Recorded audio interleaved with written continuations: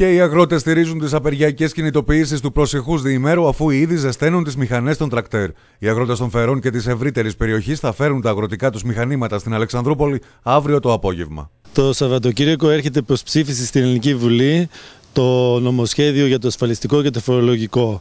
Ένα νομοσχέδιο που οδηγεί τον ελληνικό λαό και τους Έλληνες αγρότες σε πλήρη εξαθλίωση. Ένα νομοσχέδιο που μας οδηγεί σε φτωχοποίηση.